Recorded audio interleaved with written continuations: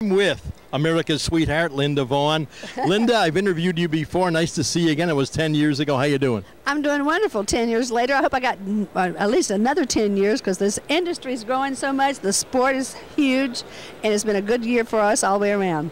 Yeah, absolutely, Linda. What brings you to the uh, show today? Were you doing an autograph session, or what? What exactly? me. What brings me to the PRI show? I was their PR director years ago. I am a part of this show. I helped build this show. I got 68 customers to join this show when we be, when we formed the uh, excited sport that we're involved in with this show. And I actually brought in 50 something companies along with Steve Lewis and Loretta. And I really, it's my baby. This is my show. I love this show. And yes, I'm.